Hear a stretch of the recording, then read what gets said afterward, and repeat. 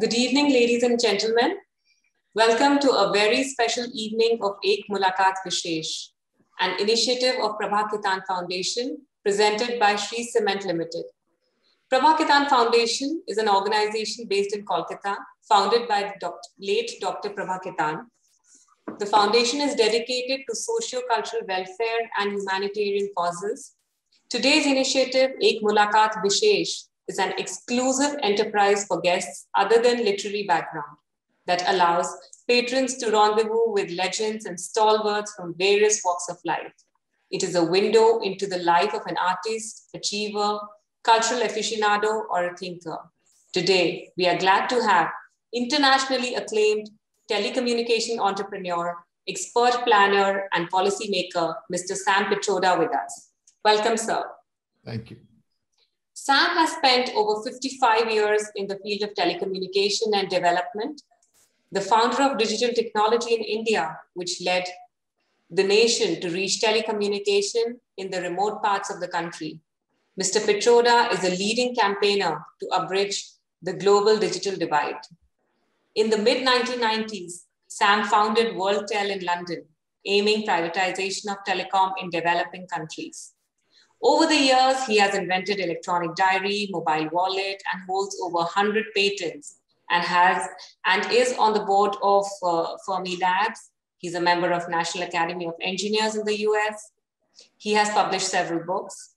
From 2005 to 2014, Sam was the chairman of National Knowledge Commission, advisor to the Indian Prime Minister. He also served as the chairman of National Innovation Council, the Smart Grid Task Force, railway modernization, and public broadcast forums. In conversation with him is Ms. Archana Dalmia, SAS Woman of Delhi. Now, I request the audience to sit back, relax, and enjoy today's conversation. Thank you.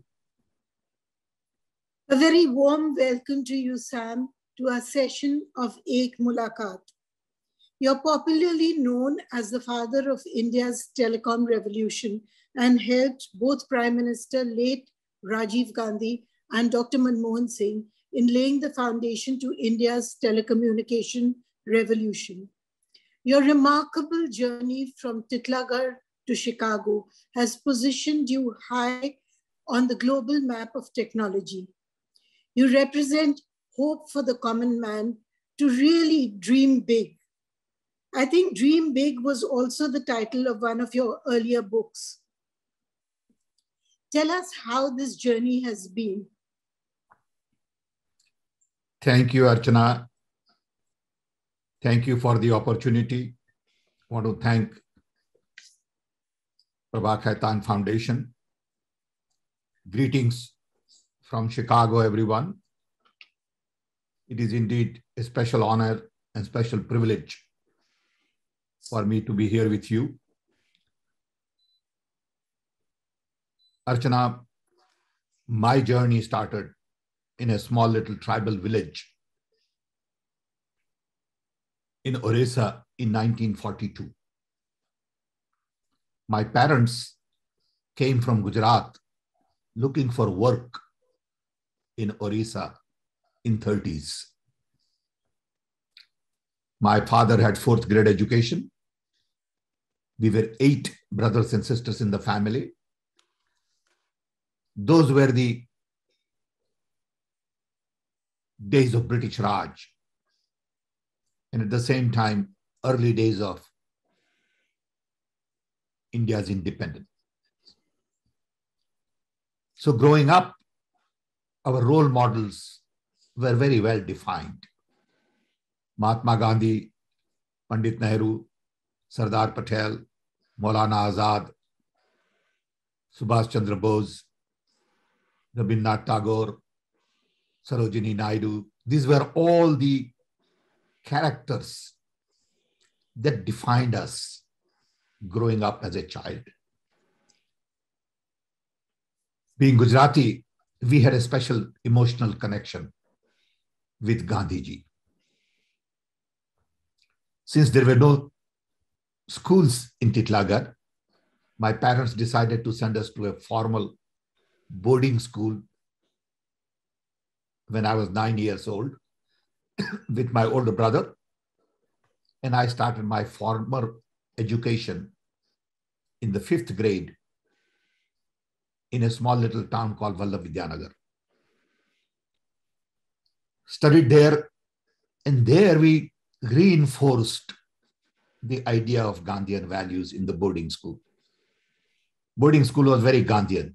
All our teachers were Gandhian, wore khadi, followed Gandhian practices, and started realizing the fundamental values deeply rooted in truth, trust, love, diversity, inclusion, justice, freedom.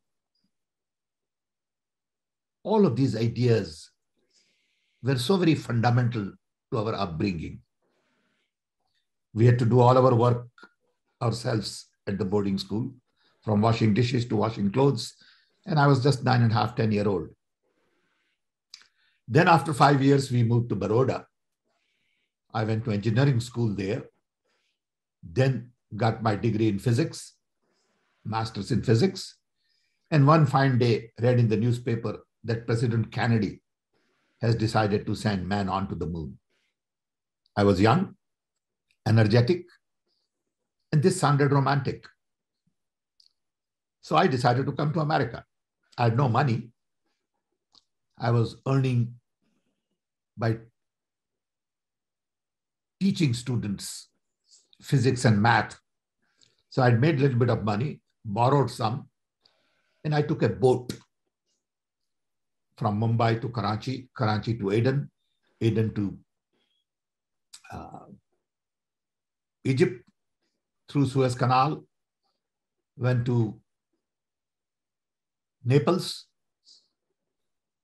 and from Naples to Genova, took a train from Genova to London, took a plane from London to New York, and a bus from New York to Chicago. This was 57 years ago. Came here, wanted to get a PhD in physics, but I had a girlfriend in India. So I decided to change it to electrical engineering because PhD was going to take seven years or five years.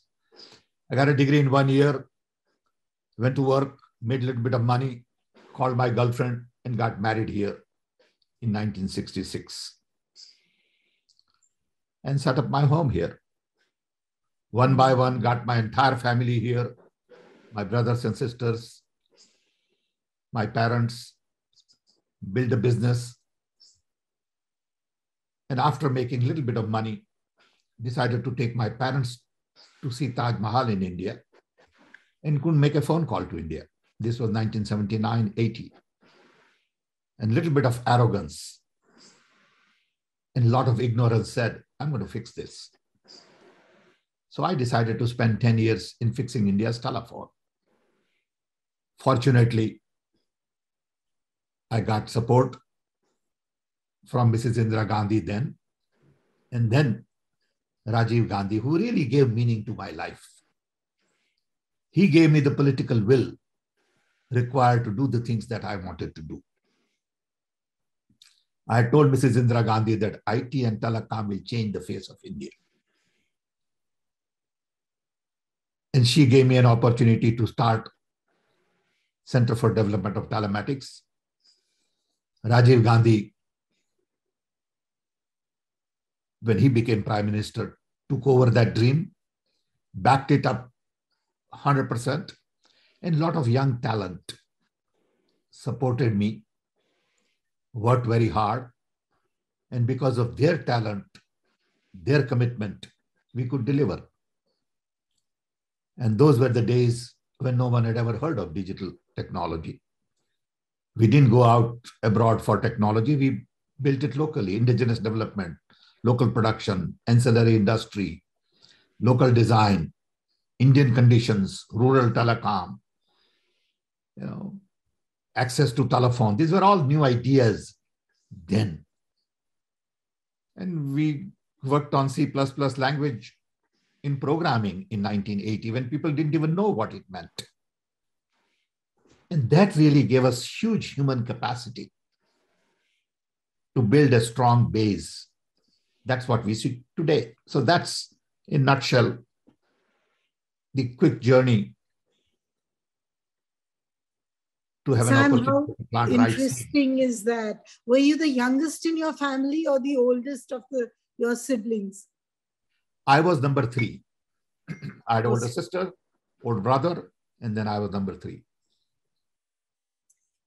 Um, in your most recently published book, Redesign the World, you talk about a historical opportunity post COVID to rethink the world with an emphasis on science and technology. How do you think these ideas towards human development can be implemented in India? I think before we go into implementation, we need to really understand what are the new ideas. Okay. So, as like many of us, I was locked up at home in self quarantine for almost 18 months during COVID. and I decided to spend that time writing a book. So when I started analyzing things, which I had been doing for last several years on it, I realized that the world was last designed just about the time I was born. then US led design during World War II gave birth to UN, World Bank, IMF, NATO, WTO, WHO, GDP, GNP, and all that. Then world was bipolar. You had Soviet Union and you had US. And that design worked pretty well for 80 years. And I personally believe that design is completely obsolete in a hyper-connected world. Today, for the first time in the human history, we are all connected. What does it mean to have connected world? Do we use connectivity to do, do the same thing we have been used to doing? Little better, little cheaper, little faster? Or do we use this connectivity to take humanity to the next level? Is the question I started asking. This design was predominantly based on democracy, human rights, capitalism, consumption, and military. Soviet Union had exactly opposite design, except military. But then when you look at 80 years, it's a long period, especially in a fast changing world of today. and lots of things happen in 80 years. First, the entire world got decolonized. No one ever thought that world will get decolonized in that short span of time, but Mahatma Gandhi led independence movement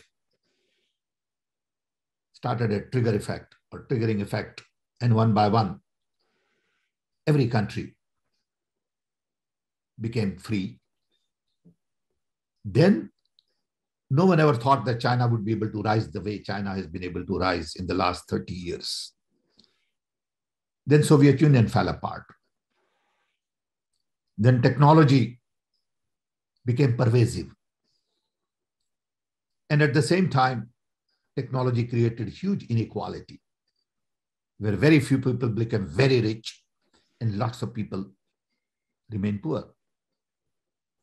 So on one hand, this design did solve problems of lifting millions out of poverty, of maintaining peace, democratizing technology to some extent. But it didn't solve the problems related to hunger, violence, poverty, environmental blunders. And then came 9 11, which changed everything for the US.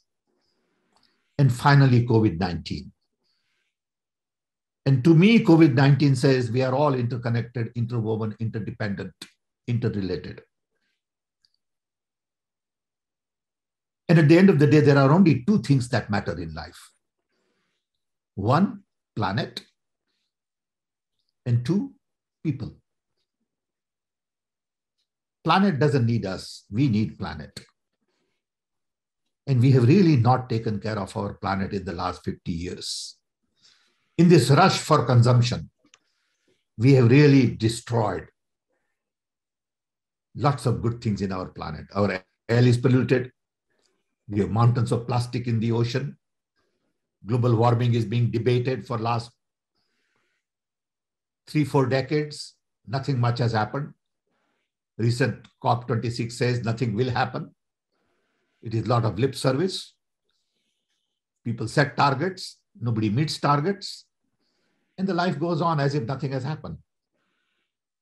It's Sad that we have ignored our planet and we only try to optimize profits. You look at global debate today, it is all about geopolitical equations, rising China, it is about markets, profits, value of your stock, unicorns. And the whole conversation globally is only for the people at the top of the pyramid. It is not for the people at the bottom of the pyramid. No one really talks about the real human challenges. And second is people. Large number of people at the bottom of the pyramid, maybe 3 billion, have not been taken care of. They are in poverty, they are hungry, they don't have access to health, education. And when global warming is not taken care of, only people who suffer are the poorest of the poor. Rich people don't suffer. They create pollution. But the effect of pollution is really hurt people at the bottom of the economic pyramid. So these, what I call tipping points, tell me that this is the time to redesign the world. But how do you do it? Who's going to do it?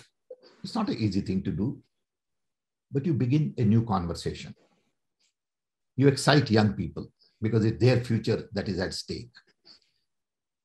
You sensitize, you identify change agents, you bring about generational change through new conversation.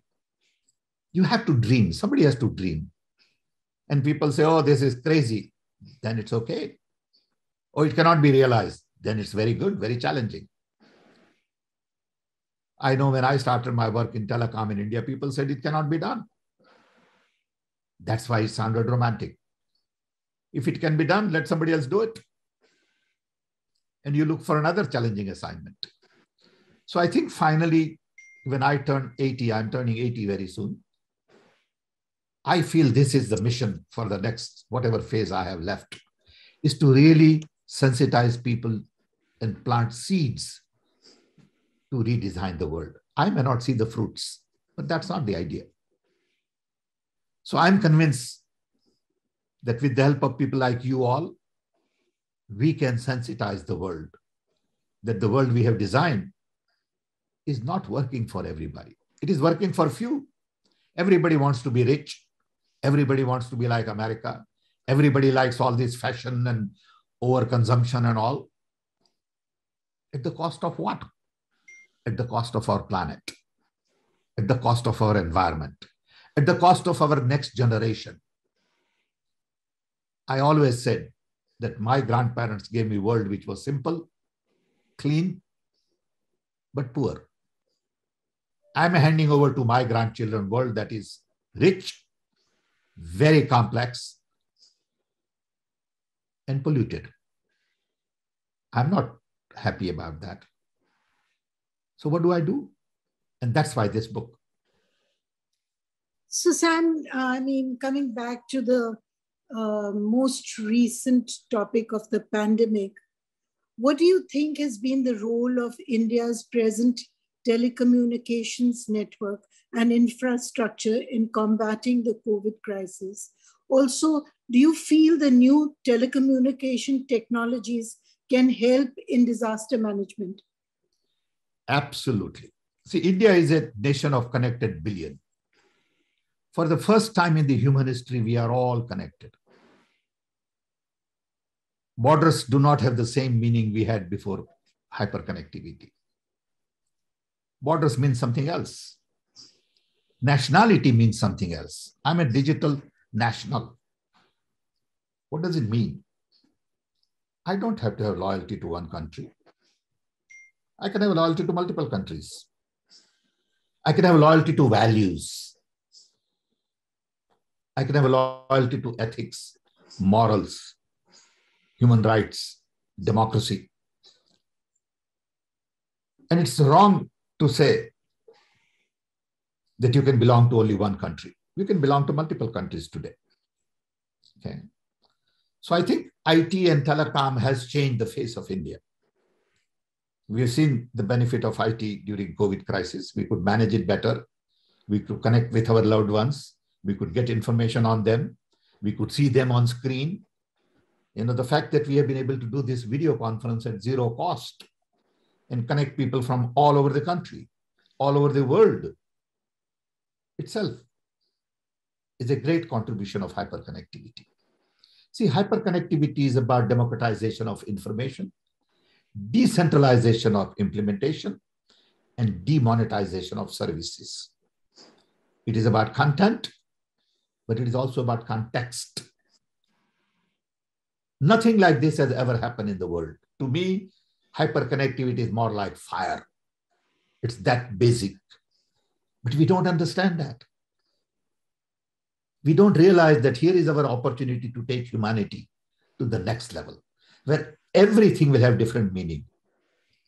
Education is changing, health services are changing, transportation is changing, commerce is changing, infrastructure is changing, governance must change. Everything we do today is basically obsolete. But we don't realize we still copy Western world. We think progress is what America does. And that has to change. We cannot have America an American standard of living for the rest of the world. So it's not worth even trying to copy because that standard will completely destroy our earth. Yeah. We got to have different paradigm. And what is my paradigm? What is my new design? We must take democracy to inclusion. In India, I'm worried about democracy. I'm worried about the fact that our institutions are not autonomous and independent. I'm worried that civil society has very little role to play anymore. I'm worried that scientific mindset is eroded in the last decade. So I really watch what is going on in India and it bothers me. Stock market may be going up, doesn't mean a thing. Our institutions are crumbling. So we need to strengthen our institutions and we need to build an inclusive society world over, not just India. America is not inclusive. Your Black Lives Matter here. India is not inclusive you have Harijans and Dalits and discrimination against minority and all that. So one, we need to build inclusive society and that can only happen if you strengthen democracy. Give room for people to have dialogue, discussion, debate, collaboration, cooperation. Then you need to focus on human needs. Human rights are not good enough. Today, you can produce anything. You got to really produce for the people who can who need it and not people who can afford to buy.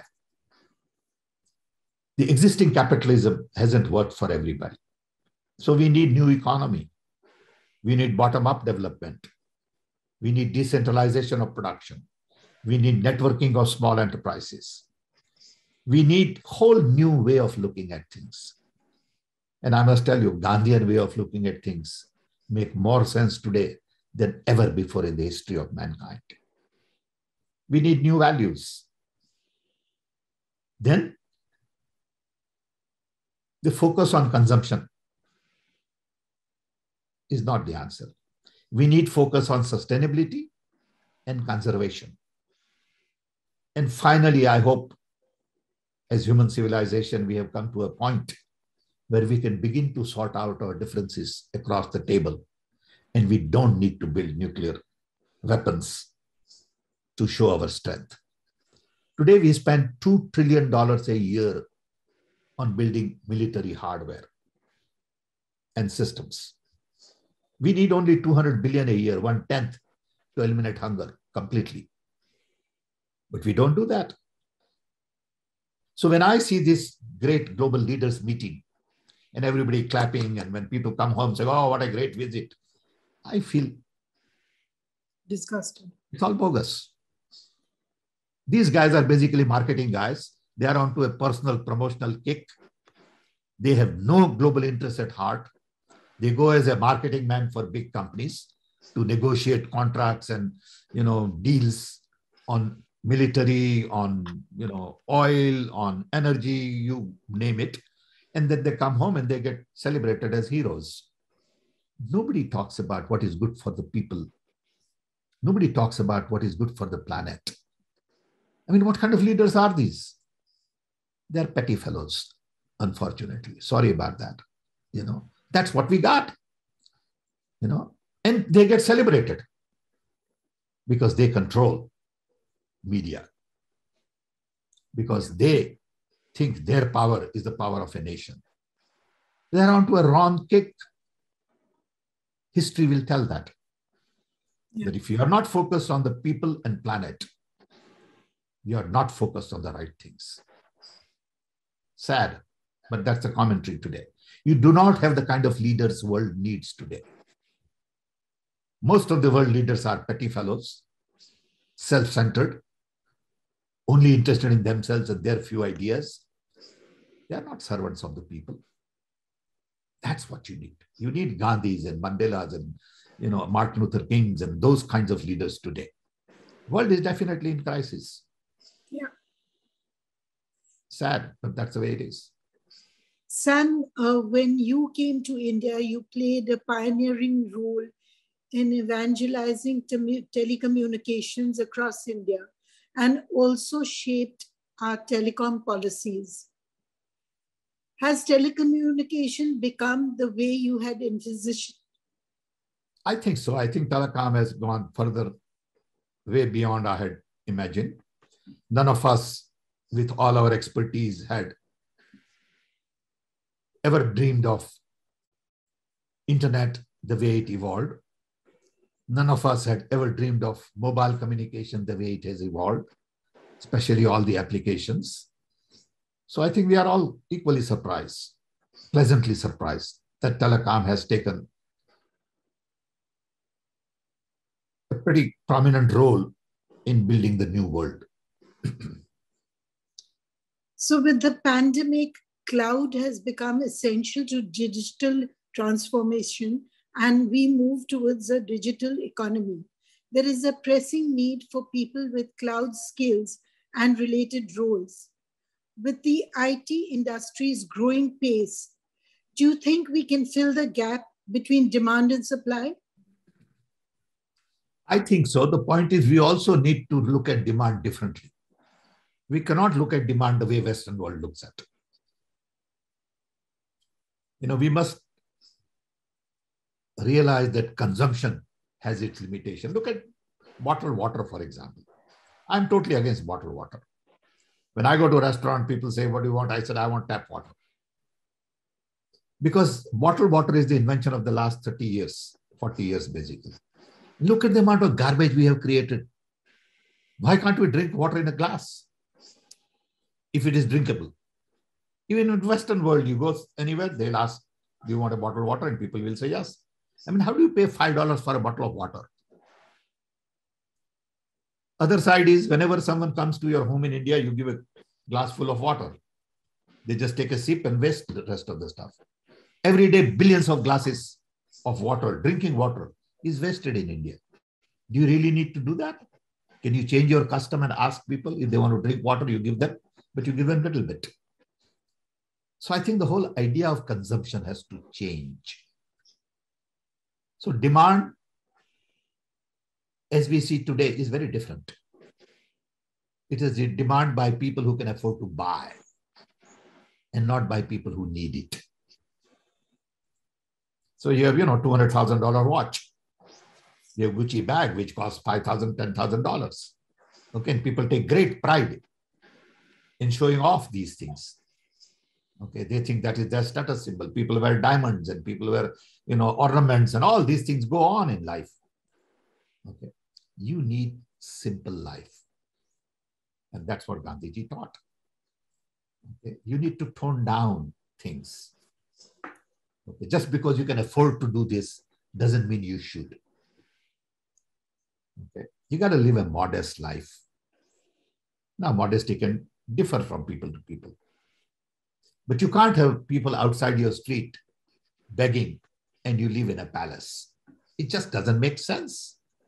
You got to think about these things. And whatever makes sense to you, you follow that. Okay. But really understand that you're just one little human being out of 8 billion. And you're just one little plant out of zillions of, you know, objects on this planet. How insignificant we are. Think of it. You know, it's a dream that we are all living through. So in this journey, make best out of it for everybody, not just for you. It's a different way of looking at it. Not that I'm right and somebody else is wrong, but I look at world very differently today. Sam, very few people look like you do. I mean, they look at the world in a different way. They've got all, I mean, maybe they've got just colored vision. That, you know, I don't watch television at all. I don't watch news at all, you know, because it, they just use this debate. They have no idea what they're talking about. I have nothing to discuss with them. You know, they don't make sense to me. They think they're very wise and they are giving this debate and that debate. It's okay. That's fine. I respect who they are and what they do. That's their privilege. Sam, you were the head of six technology missions, including literacy.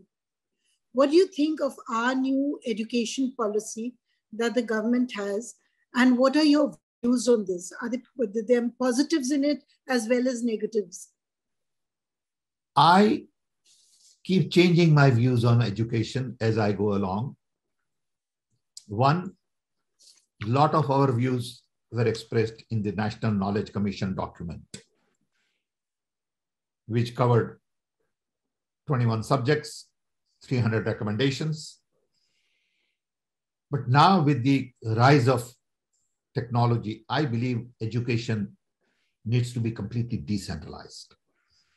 We need to give education and health responsibility to every district and community and get government out of many of these things. Today, government is too deep in education and health in control. It's a command and control system. You know, today in the world, you have two visions. You have American vision, which is based on command and control of the old design, and Chinese vision, which is also based on command and control. What world needs is a third vision, which is more based on collaboration, cooperation, decentralization. Okay. And in India, like many other big countries, you need to decentralize education, health. Policies are good, implementation is bad. You know, policies are great everywhere. But show me what is being implemented, how it is being implemented. Look at the teacher, look at their role, look at you know status of schools in villages. Okay. So you can fudge all kind of data, lie. You know, today people lie. Okay, top leaders lie to the country and they can get away with it. You know, so when I believe in truth, people believe in lies. When I believe in trust, leaders believe in mistrust. When I believe in love, some leaders believe in hate. So what do you do? Okay. There is a disconnect. So education is important, but education also requires motivation. It requires one to spend time. Today, you don't need a teacher, you need a mentor. But none of these teachers are trained to be mentored. So education has to be completely restructured world over. There is an education crisis in America as well. You can't spend, you know, $100,000 for tuition. How many people can do that? Education has become too expensive. I got my master's in physics for less than $10. Can you believe that? That was free education in India. I'm a product of Indian free education. Okay. And I'm thankful to India for that. Today, it is not possible to do that. Okay. So I think everything is in a mess, believe me. Okay. But again, it depends on how you look at it. Okay. This is an opportunity for a generational transformation because of hyperconnectivity. So first you got to redesign the world, then you got to redesign the countries, then you got to redesign governance. I mean, why should you have a ministry of textile? Why should you have a ministry of uh, shipping, steel? I mean, these are all old ideas. 80 years ago, it made sense. 50 years ago, it made sense. It do not make sense today. What makes sense today is central government should be responsible for a handful of things like defense, security, all that. A lot of power should be decentralized such that every district should be empowered to develop their own education, health, economy, and tax should be collected at the district level. Today, it's exactly opposite. Tax is collected at the central level. One who has money controls. The control should be at the bottom of the pyramid. So everything needs to be turned upside down. How are you going to do it? Who's going to do it? Is a challenge. Um, Sam, at 79, the way you look, you could easily pass off as a brand ambassador of health. Having dealt with the pandemic, do you think the future of digital diagnostics, digital therapeutics, and telemedicine lies? Absolutely. You... It's there, it's already there. It's already there. I don't go to my doctor to visit anymore. I just talk to him on phone. You know, now, I was trying to say, can we combine our Indian Ayurveda and sure. uh, these Absolutely. things into uh, blend it with digital approaches to our, you know, all the traditional healthcare, like now um, both Ayurveda and yoga have become something that have, you know, caught the world's attention as health um, as something. I run, uh, Archana, I run a major foundation out of Bangalore. Not many people know. I started that 30 years ago with a colleague of mine, Darshan Shankar. And we have documented all herbal medicinal plants of India. It took us 30 years to do that. It is now a full-fledged university called Transdisciplinary University, where we do exactly what you are saying. Oh, really? Yeah, it's a you can look it up on the Google. Just go see Transdisciplinary University. It is a major operation with 300 scientists and engineers and staff in Bangalore. It took 30 years to build it. And it is all about using Ayurveda and herbal medicine, okay, to blend with modern medicine to solve the health issues of the future. Yeah, yeah. going on. So, in a way, we are going back to our ancient times where. It is not uh, back or, you know, I don't think, I don't look at it as a back. I look at it as using the wisdom we had and our founding fathers had to go forward. See, I don't like to go back. I got to go forward. So I don't look at history and God and Ram and all that. It don't mean anything to me. But whatever we have, we build on it.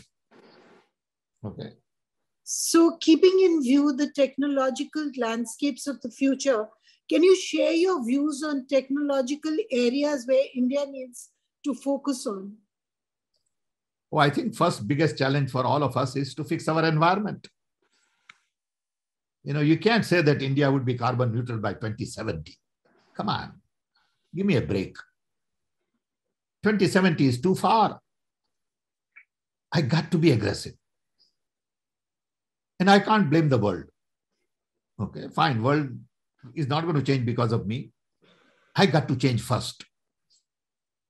So I think India has a tremendous opportunity today to not only redesign India, but also help redesign the world by focusing on environment and all the technologies related to environment, whether it is, you know, traditional farming, focusing on microbes and not on modern fertilizer, changing the education, changing health, but really taking environment as the core to build everything around it. And say, we can be carbon neutral in 20 years, not 50 years. Put that kind of a challenge. It's like taking man onto the moon. Okay. India has to say, here is a dream that we want to make India carbon neutral in 20 years. Forget about the world. World can do whatever they want to do. I'm not there to fight with them. But I represent one fifth of the humanity, and I have moral responsibility to do that. And I'm not going to blame the world. Fine, we can blame and we can say, you know, US and China polluted and they are polluting more, and all that is okay. And give us more funding and all that. But I think we have huge amount of talent in our Indian people. How do I use that talent to galvanize India and create this huge dream, similar to the dream which says, I want to take man onto the moon? I want to say, I want to make India carbon neutral in 20 years.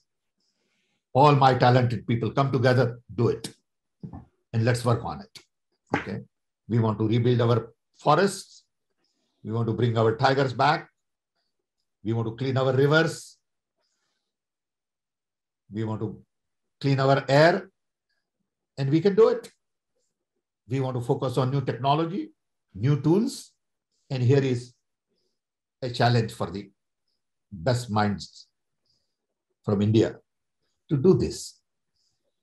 That is the kind of dream I would like to create and not say India would be carbon neutral by 2070. Not worth even talking about. Fine. So, Sam, when you dream big, you do it. So, here we have a challenge in which you dream big. And I hope India is that country in 20 years. Thank you.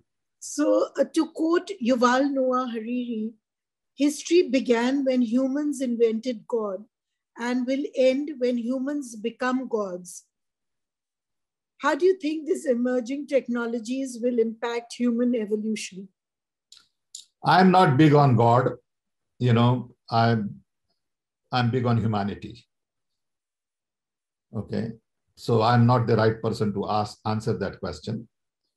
Uh, I don't pray. I don't do anything. I've outsourced religion to my wife. She does a good job, so I don't interfere. So okay. I believe so in science. So we'll skip that. But uh, some uh, science and technology again is a double-edged sword. It has its negativities. It Everything has, has double-edged. Everything is a double-edged sword. Everything, not just science and technology. It's like knife. Knife can kill somebody, and knife can also kill potato and uh, uh, you know cut fruits. You take your pick. Everything is double-edged sword. You know, coming back to the Earth's climate, we messed up with ours and now we are trying to undo the damage done. Do you think the technological innovations can help negate climate change?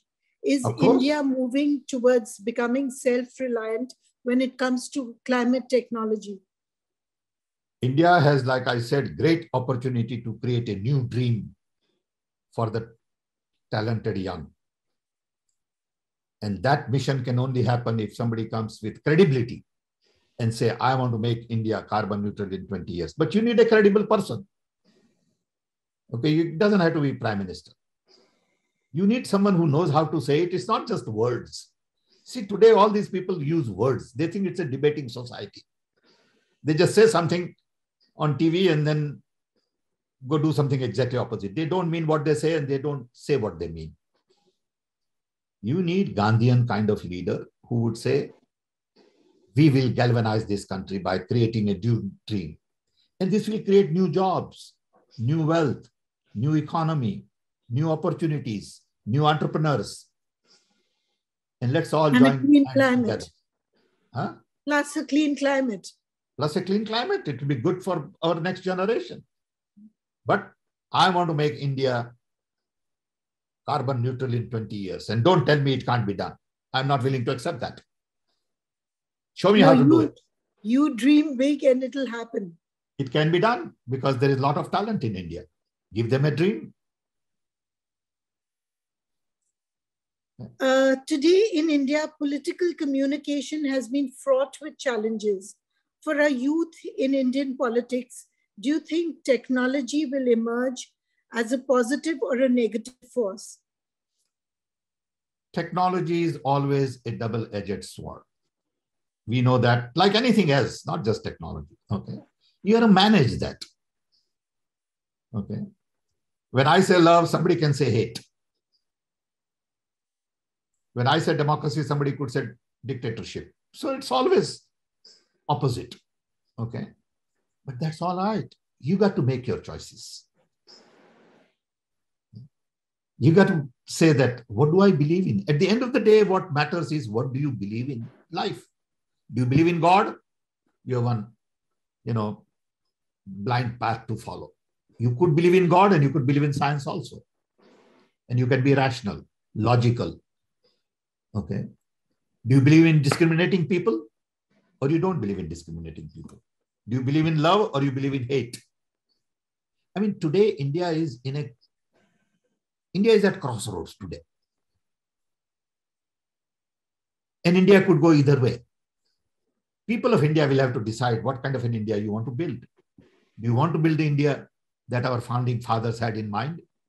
Democracy, freedom, justice, equality, diversity, respect for all religion, secularism, or you want to create India which says I am superior and you are not, which says I won't allow you in temple and I will allow somebody else in the temple. Okay.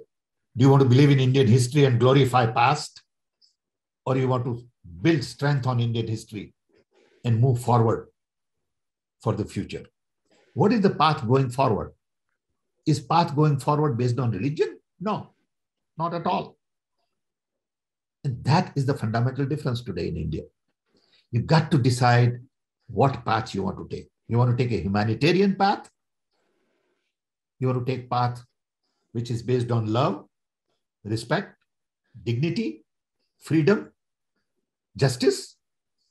Or you want to build a path which is based on discrimination. You have to take it.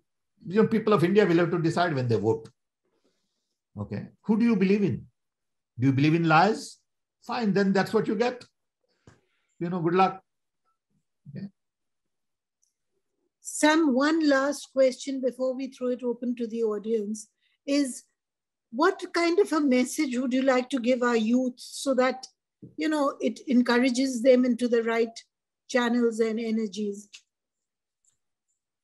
I would tell our youth don't underestimate your power. You are as powerful as you think. Go deep inside you, search yourself, and decide what you believe in. Don't believe in what media tells you.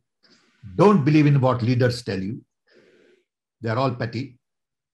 You decide what you believe in. You come up with your own answers to follow going forward. Fundamental issues in life is do you believe in truth? Do you believe in trust? Do you believe in love? Do you believe in equality, democracy, freedom, justice? If you believe in all these, you have one path to take. If you believe lies, cheats, you know, control, you have another path to take. You decide. Option is yours, not mine. So I'll tell you, young people, believe in yourself and build a good self. Self that is respectful, self that is comfortable, self. I mean, how do we treat our women? Now there are lots of women here, so I can say, okay, what kind of an India is that? What kind of youth is that who doesn't treat, you know, fellow women with respect and dignity? We have sisters, we have mothers, we have cousins, we have everybody in the home. Okay. What are we talking about when we can't treat our women? When I see people, you know, beating girl on the road because on Valentine Day she did something. I mean, it's crazy people. Okay, it hurts because you are taking somebody's freedom away. And those are the issues we have today that you got to discuss, debate, and ultimately decide for yourself. Okay. Um, can we can we open the? Uh, thank you, sir, for such a thought-provoking session. Uh, the audience uh, has a lot of questions for you. Uh, I think yes. we take the first one from Mr. Dillon. He wants to ask you, sir, um, having talked about the need for redesigning the world, where do you see India and the world uh, 20 years from today? Well, it's hard for me to have a crystal ball like that, but it will depend on what we decide to do collectively on global warming. I am very concerned about global warming, like many of us. And if we take global warming seriously, world will be in one direction. If we take global warming just a piece of conversation to debate and discuss and global leaders meet and then forget about and go do whatever they are doing, we'll have a disaster at hand. So I think global warming is going to dictate the destiny of our planet in the next 20 years. Very tightly said, sir. So I have a question uh, for you. Uh, as you mentioned that you know we need to decentralize and not be so government dependent on everything. Do you also believe that corporate India can play a very big role, and by just tweaking a little bit our uh, CSR policies, we can be, like bring a huge change in the country? I didn't understand the question. Can you say it again?